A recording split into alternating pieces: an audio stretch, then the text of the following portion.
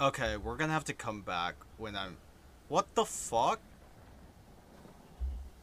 The, the, the fucking sardines just flew out of the fucking sea. What? Oh, it's hurricane.